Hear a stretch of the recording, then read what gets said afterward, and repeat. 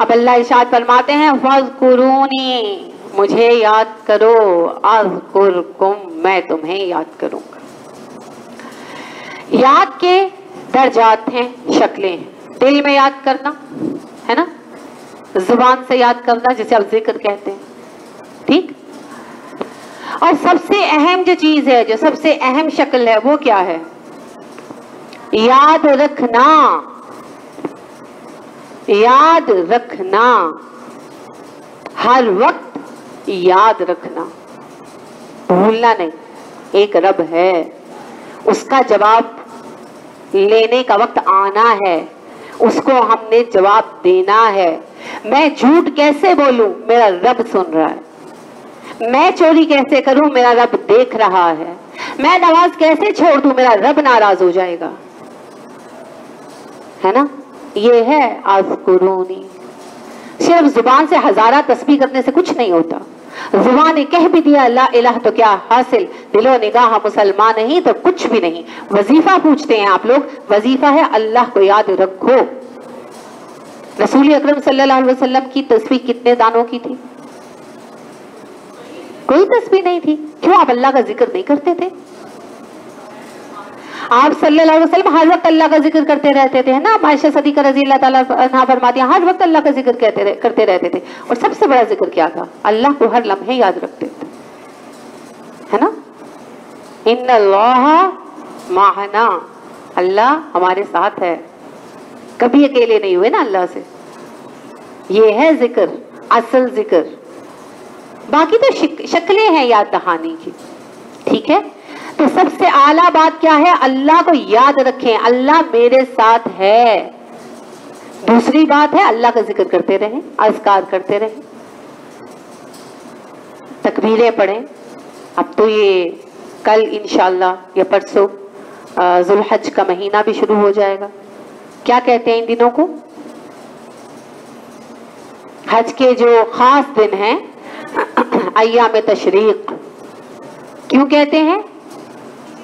तकबीरें बुलंद करने के लिए। क्योंकि शरीका का मतलब होता है बुलंद करना। मशरिक कहते हैं, जहाँ से सूरज बुलंद होता है। तो अयाम तशरीक, बुलंद आवाज़ में तकबीरें पड़ी जाती है ना। तो वैसे तो हज के दिनों में है, मगर सहाबा क्या किया करते थे? जुल हज की यकम से ही शुरू कर देते थे। क्यों? ताकि आदत बन जाए। अगर कहेंगे कल से करेंगे, कल से करेंगे तो फिर हज के पाँच दिन भी निकल जाएँगे, ख्याल ही नहीं आएगा। ओ हज के तो दिन नहीं गुजर गए। याद ही नहीं रहा, तकबीरें पढ़नी थी। तकबीरें पढ़ें, तस्बीहें पढ़ें। हम्म? फरिश्तों ने क्या कहा था? नहनो सब्बिहु बिहम्दिका व नुक़द्दिस लक। हाँ? तो फरिश्तों के लिए खास है, हम नहीं कर सकते, हम भी कर सकते। क्या है तस्बीहात? फरिश्तों की तस्बीह क्या है? रसूल अकरम सल्लल्लाहु वसल्लम ने कहा, कलीमतानी हफीफतानी अललिसानी सकीलतानी फिल मीजानी व हबीबतानी लिर्रहमान। क्या है दो कली में? मिलकर पढ़िए, ऊँची आवाज़ में पढ़िए। लामे जलाला मोटा हो जाएगा, नून पर जबर है सुबहान वबिहम्दिही सुबहान आजीम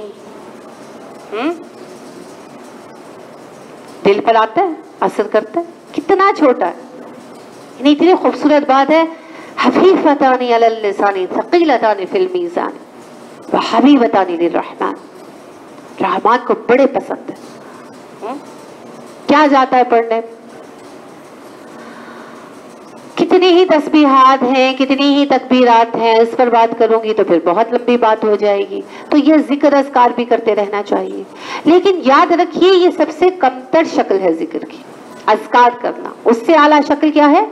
कुरान पढ़ना। उससे आला शक्ल क्या है? नमाज़ में कुरान पढ़ना। सबसे कमतर शक्ल क्या है ज़िक्र की? अजकार पढ़ना। और अजकार का कोई बदल नहीं है। अल्हम्दुलिल्लाह तमलीउल मीजान। एक अल्हम्दुलिल्लाह मीजान को भर देता ला इलाहा इल्लल्लाह का कितना वज़न है? कितने टन होगा? शिरक का कितना वज़न है? आसमान चरचरा उठे, पहाड़ रेजा रेजा हो जाए, अल्लाह ने कहा ना, ये कहते हैं, अल्लाह की औलाद है। इस कलीमे को अगर आसमानों पर रख दिया जाए चरचरा उठे, पहाड़ों पर रख दिया जाए रेजा रेजा हो जाए। इसकी करोड़ली क्या निकलती है? उलट क्या निकलता है? ला इल्लल्लाह, इतना वजनी है। जिसके वज़न नामा अमाल में ला इल्लल्लाह होगा, उसका नामा अमाल भारी हो जाएगा। हाँ? और सुबहान सुबहान अल्लाह के बारे में तो भी मैंने आपको कहा सकीलतान फिल मीज़ान। वो में मीज़ान में बहुत भारी है। लेकिन असूली तौर पर अभी ये सबसे कमतर शक्ल है। उससे अफजल शक्ल क्या है?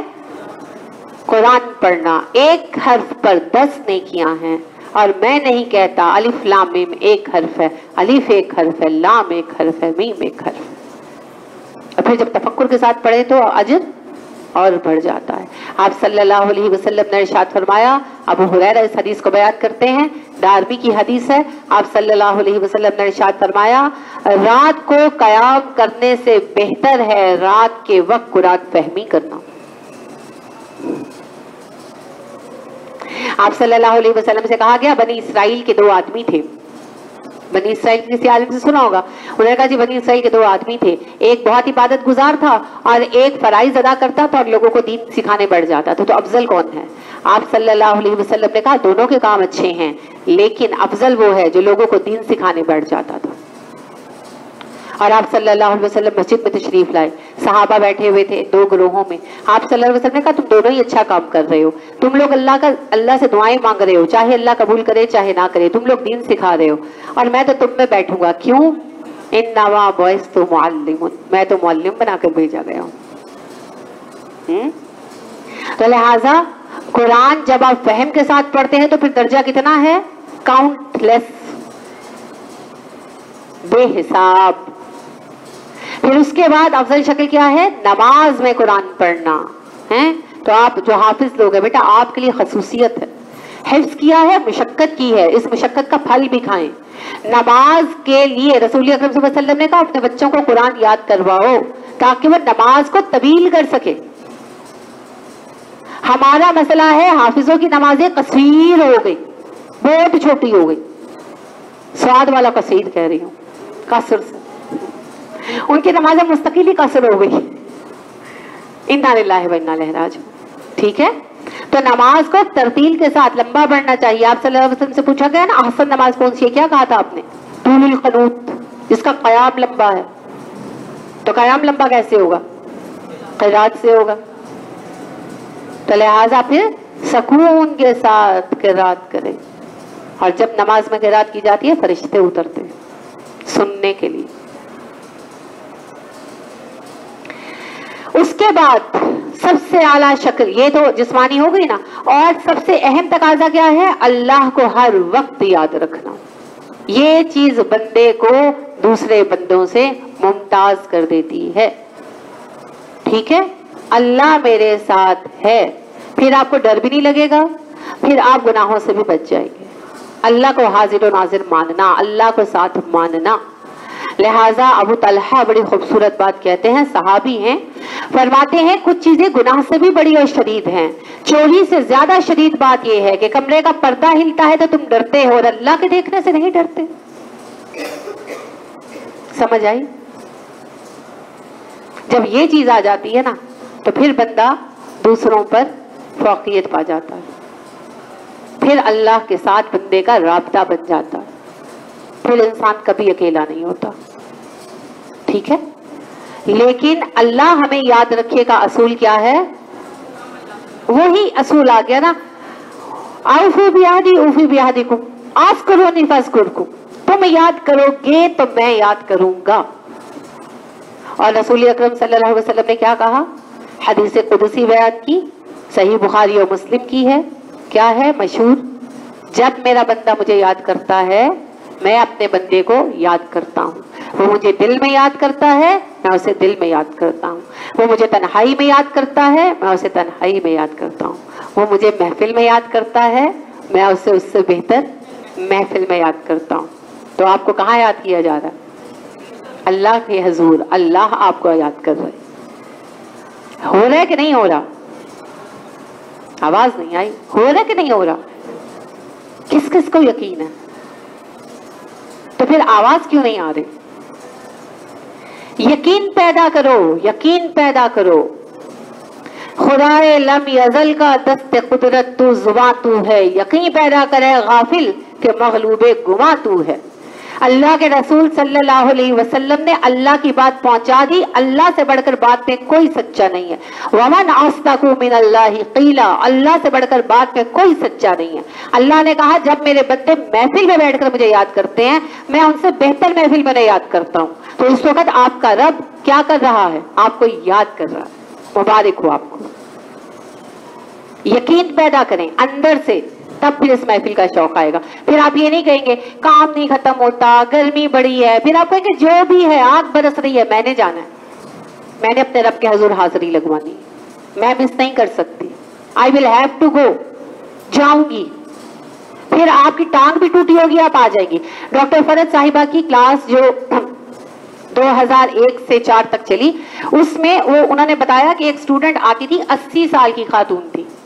बहुत बूढ़ी थी और सीढ़ियाँ नहीं चढ़ सकती थी तो वो गाड़ी में बैठी रहती थी और हेडफोन पे सुनती रहती थी, यानी मोबाइल के साथ लगाकर। लेकिन वो आती थी। उनसे कहा गया कि आप ऑनलाइन सुन लिया करें। उन्होंने कहा, नहीं, मैंने आना है इस महफिल में शिरकत के लिए। और चार साल वो औरत आती थी, अस्सी से चौरासी साल की उम्र में। सिर्फ़ इस फजीलत के हसूल के लिए कि मैं कुरान के लिए आती हूँ, मैं तालिब इल्म हूँ। देखा जाए तो उनके लिए अमल करने के लिए बचा ही क्या था? अब तो यही कहते हैं ना तो सिर्फ़ बुढ़े हो गए तो करना की है। जिनको शौक होता है। मैं एक सेमिनार की अटेंड करने के लिए गई तो वहाँ पर जो काली साहब थे, बड़े अच्छे आदमी थे, माशाल्लाह बड़ा इल्म अल्लाह ने दिया था तो उनके स्टूडेंट भी बाबा जी थे बुढ़े बाबा जी। तो वो जैसे बातचीत उनके स्टूडेंट रेगुलर स्टूडेंट्स के साथ हमारी हुई। तो मैंने मुझे उनका बड़ा अपील कर रहा था कि बहुत ज़यीफ आदमी थे। सत्तर अस्सी के ही होंगे, बहुत ज़यीफ थे और बड़े कमज़ोर से भी। तो मैंने कहा कि आप ये क्या करते हैं? और यानी पूछा। तो कहने लगे कि बेटा, मैं मुदर्रस हूँ। सारी ज़िंदगी कुरान पढ़ा है। अभी भी पढ़ाता हूँ।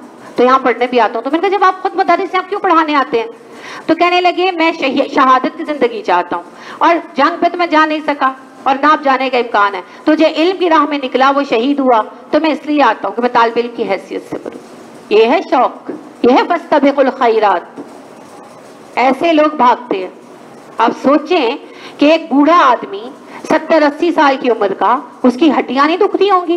वो चलकर आता है, बैठता है, नज़र नहीं आता उसको, कमर उसकी सीधी नहीं है, हड्डियों का ढांचा। लेकिन शहादत का शौक है। लिहाजा शहादत की मुमकिन शक्ल ढूंढ रहे हैं। अबू हुरैरा की हदीस याद है? किताब, जब मैंने इल्म की फजीलत पर बात की थी, आपसे तो अर्ज़ की थी। अबू हुरैरा रज़ी अल्लाह ने कहा, रसूल अकरम सल्लल्लाहु अलैहि वसल्लम ने इरशाद फरमाया, जो इल्म के रास्ते में निकला, जब तक लौट कर नहीं आता, अल्लाह की राह में मुजाहिद फ़ी सबिलिल्लाह है। इसी हदीस के हसूल के लिए, इसी शर्त के हसूल के लिए वो आते थे। हालाँकि खुद कुरान के मुदरस थे।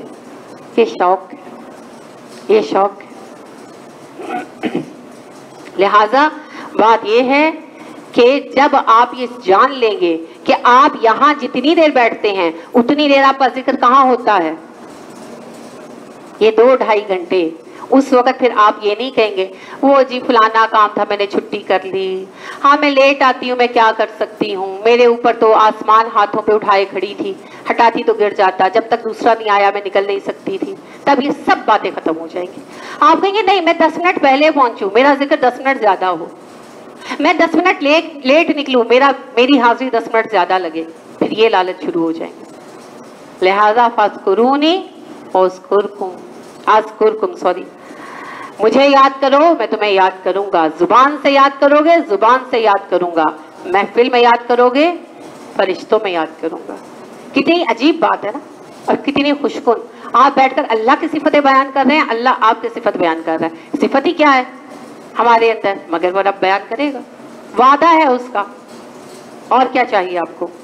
इससे बढ़कर, आपको पता है, मुगलों में जब कोई उनका कोई सरदार बहुत बड़ा काम करता था ना तो पता क्या किया जाता था? उसका सबसे बड़ा आज़ाद क्या होता था?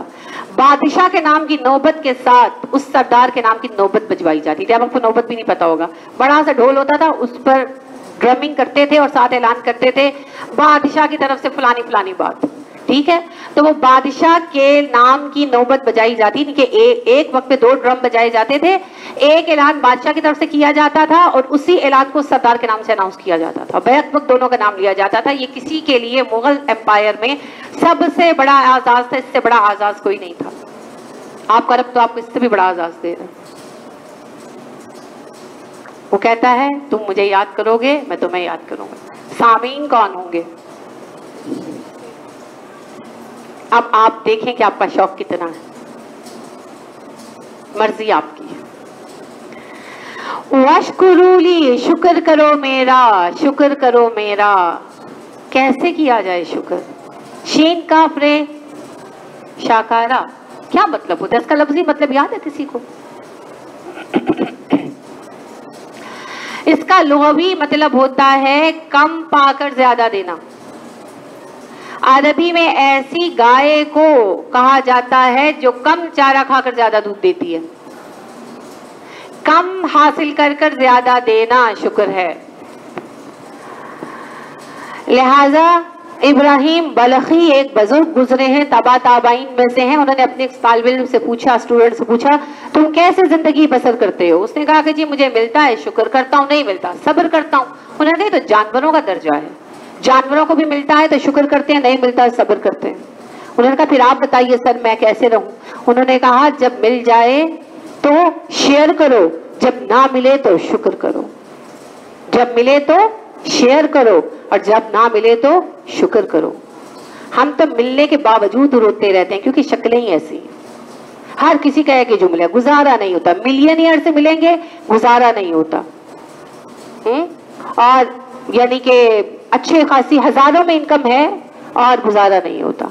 तो शुक्र क्या है? कम लेकर भी कदरदानी करना, ठीक है? शुक्र का असल मतलब कदरदानी होता है ना? कम मिलने पर भी कदरदानी करना। क्योंकि अल्लाह की मलकियत है हम। अल्लाह जो दे, उसकी मर्ज़ी ना दे, हमारा हक नहीं है। ठीक है? तो शुक्र करने वालों के लिए फिर रसूल क्या है?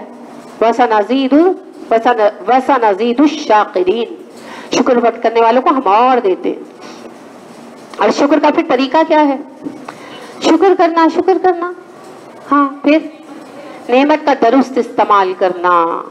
नेमत का दुरुस्त इस्तेमाल करना। और ज़ुबान से भी अल्हम्दुलिल्लाह कहना, हाल से भी अल्हम्दुलिल्लाह नज़र आना। है ना? शुक्र के कलिमात भी पढ़िए लेकिन नज़र आना चाहिए, ये नहीं कि जहाँ बैठे शुरू हो गए। हाँ बस मेरा तो शोहर ऐसा है मेरा तो बेटा ऐसा, मेरी तो बहन ऐसी है, मेरी तो माँ ऐसी है। ये सब ना शुक्र गुजारी की बातें। फ़र्ज़ करें, है, फ़र्ज़ कर लें शोहर जालम, अल्लाह ना करे किसी का हो, मगर है। तो आपकी आजमाइश है ना? शुक्र गुजारी ये है, डंडोरा मत पीटो। नेमतें तो बयान नहीं करते, तकलीफें बड़ी बयान करते। मुझे एक साहब की शुक्रगुजारी देखने का इतफाक हुआ। अल्लाह उनके दर्जात बुलंद करे, हयात नहीं रहे। उनको शुगर था गैंग्रीन हो गया, टांग कट गई तो आयादत के लिए गए। तो जैसे जो आए पूछे ना कि टांग कट गई तो कहीं, अल्लाह का शुक्र है, देखो हाथ चलते हैं, टांग चलती है, आँखों से देख रहा हूँ, कानों से सुन रहा हूँ। क्या हुआ? टांग कट गई। छोटी बात नहीं है आपके जिसम का हिस्सा कट जाना। मगर उन्होंने किसी को मौका नहीं दिया कि कोई हमदर्दी ज़ाहिर कर सके। वो एक ही बात कहें और इतने यकीन और आयत और उनके चेहरे पर कोई यानी मलाल नहीं था। तकलीफ़ तो फ़िज़िकल थी, लेकिन कोई मलाल नहीं था। हम्म? हमारा एक बाजू खाली दुख रहा है तो हम क्या कहते हैं? हाय बाँच दर्द, हाय बाँच दर्द, है ना? ये फ़र्क है, ये है शुक्र और ना शुक्री तकलीफ़ होती है तो बंदा तकलीफ़ का इजहार कर बैठता है, मगर उसको रोना नहीं बना लेना चाहिए। रोना नहीं बना लेना चाहिए।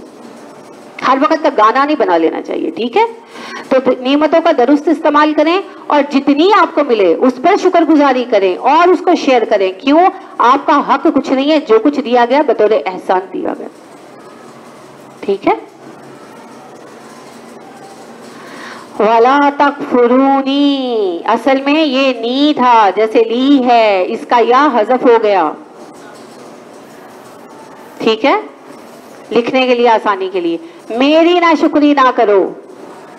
यहाँ कुफर, काफ फेरे, काफारा किस माने में आया? नेमतों से इनकार के माने में। है ना? नेमतों से इनकार के माने में। अगर एक नेमत नहीं मिली तो दूसरे मिली होगी। अल्लाह ने सबको आजमाना है। दुनिया दारुल इम्तिहान है या दारुल जजा है? दारुल इम्तिहान है तो फिर पर्चा को तो कोई ना कोई आएगा। अगर किसी को औलाद नहीं मिली तो सेहत और माल मिला होगा। अगर किसी को सेहत और माल मिला है नहीं मिला तो औलाद मिली होगी, फर्मा बरदार, ताबेदार। कहीं ना कहीं अल्लाह ने कुछ ना कुछ दिया है, सबको दिया है, कोई खाली नहीं बैठा हुआ, भर भर के दामन लाए हुए हैं। मगर मसला ये है कि हमें करोड़ों अरबों नेमतें नज़र नहीं आती। करोड़ों अरबों भी मैं महज कह रही हूँ। अल्लाह की नेमतों का हाल क्या है, आप गिन नहीं सकते। खाली जिसम की नेमतें गिनकर मुझे लिखकर अगर आप बता देना कि कितनी मिली हैं तो मैं मान जाऊँ। हम इन करोड़ों, अरबों, खरबों नेमतों का इकरार नहीं करते कि पूरे जिसम में हर वक्त खुलिए बन रहे हैं। सर से लेकर पाँव तक आपके आज़म काम कर रहे हैं। आपको अंदाज़ा है, आपकी आँख को हर लम्हे देखने के लिए एक लाख रगे खून सप्लाई करती हैं। वो कितनी बारीक है, कैसी हैं, कभी पता है आपको? आपको इतना पता है कि आपका लेंस कितना हाई प्रोफ़ाइल होता है। अल्लाह ने इसको कितना महफूज कर रखा है। आपको पता है, आपका आँख का झपकना कितना ज़रूरी है? आपको पता है, आपके दिमाग के अंदर आपकी आँख हर चीज़ का इमेज उल्टा बनाती है। सर नीचे, पाँव ऊपर। आपका दिमाग हर लम्हे उसको सीधा करता रहता है। एक लम्हे का गैप दिए बगैर आपको पता है आपका बाजू या आपका पाँव हरकत करता है तो दिमाग से तहरीक जाती है। इतनी लंबी नब्स काम करती है। हर लम्हा बोलने के लिए आपका पूरा दिमाग और पूरी ये आपकी बैग बहुत सारी काम करती है, मिलकर और आपकी ज़ुबान चलती है। और एक लम्हे के वक्फे के बगैर आप अल्फाज अदा करते रहते हैं। कितनी मखलूकत को अल्लाह ने आपके लिए काम पे लगा रखा है। आपको पता है, पूरी दुनिया, पूरी यूनिवर्स कायनात मिलती है तो आपका ये माहौल बना जिसमें आप जी रहे हैं। ये एक टेम्परेचर ये एक मुनासिब एनवायरमेंट ये देने के लिए पूरी यूनिवर्स काम कर रही है। तब जाकर एक दाना, एक गंदम मुकता है, तब आप सांस ले सकते हैं। इन नेमतों का कभी शुक्र तो किया नहीं। हाँ एक बच्चा नहीं है तो यहाँ बैठे तो रो रहे हैं तो वहाँ बैठे तो रो रहे हैं। एक शोहर का हालात तंग है तो बहन से भी रो रहे हैं और हमसाई से भी रो रहे एक सास ने डांट दिया तो बस सारे जमाने में पिट रहे हैं, हमसे बड़ा मजलूम ही कोई नहीं। तभी तो फिर दर्जे नहीं मिलते। याद करें अम्मा हाजर को, उनके शोहर उन्हें वीराने में छोड़कर आ गए थे। और जब उन्होंने कहा, मुझे क्यों छोड़कर जा रहे हैं? उन्होंने कहा, अल्लाह का हुक्म है। क्या कहा था? अल्लाह हमें जाया नहीं करेगा। फिर अल्लाह ने जाया नहीं किया। अल्लाह ने वो मनसब दिया जो दुनिया में अम्मा हाजर के सिवा किसी को नहीं मिल सकता। एक कौम की उम्मत की और जो आखिरी उम्मत है, माँ बनाया उनको। जब तक उम्मत मुस्लिमा चलेगी, उसकी माँ अम्मा हाजर ही रहेंगी। किसी को ये मकाम नहीं मिल सकता। क्योंकि उन्होंने सब्र किया। उन्होंने ये नहीं कहा, तू जान तेरा रब जाने, मैंने नहीं रहना, लेकर चल मुझे वापस। ये नहीं कहा। हम तो अल्लाह का फैसला मानने को तैयार ही नहीं। कोई फैसला मानने को तैयार नहीं। हम हमेशा पीछे देख देख कर रोते रहते हैं।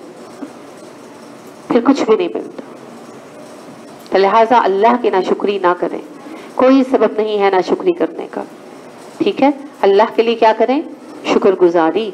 और शुक्रगुजारी का सबसे आसान तरीक क्या है? नेमतों का दुरुस्त इस्तेमाल और उनको शेयर करना। बात याद रखें, किसने कही थी? इब्राहिम बलखी। बलख इलाके का नाम है ना, वहाँ के रहने वाले थे। इब्राहिम बलखी ने क्या कहा था? जब शेयर करो और जब शुक्र करो। ये है अल्लाह की शुक्रगुजारी। तो लिहाजा जो शुक्र गुजार होते हैं, फिर उनको अल्लाह बहुत देते हैं। वसा नजीदुशाकिरीन शुक्र गुजारों को बहुत देते हैं हम। ठीक है? ये बात समझ में आई? आ गई। चलिए, मैंने मान लिया, आपने कहा तो। अब मैं आपका अमल देखूँगी। मैं तो ज़ाहिर तौर पर चंद घंटे ही देख सकती हूँ ना? और वो भी चंद एक बातें। असल तो रब देख रहा है। ठीक है? और वो आपको खुद देख रहा है। लिहाजा, उसकी नज़रों में चढ़ने के लिए अमल तो बदलने पड़ेंगे। अमल से ज़िंदगी बनती है, जन्नत भी, जहन्नुम भी। ये खाकी अपने फितरत में ना नूरी है, ना नारी है। तो लिहाजा रसूल अकरम वसल्लम ने क्या कहा था? अपनी प्यारी बेटी फातिमा को इमाली इमाली इमाली काम करती रहे, काम करती रहे, काम करती रहे। ठीक है? अल्लाह रब करीम हमें इन चीज़ों को समझने, दिल में उतारने की तौफीक अता फरमा और इन पर अमल करने की तोफ़ी अता फरमा। आमीन। सुबह व बिहम्दिका व इल्ला अंत व नस्तगफिरुका व नतूबु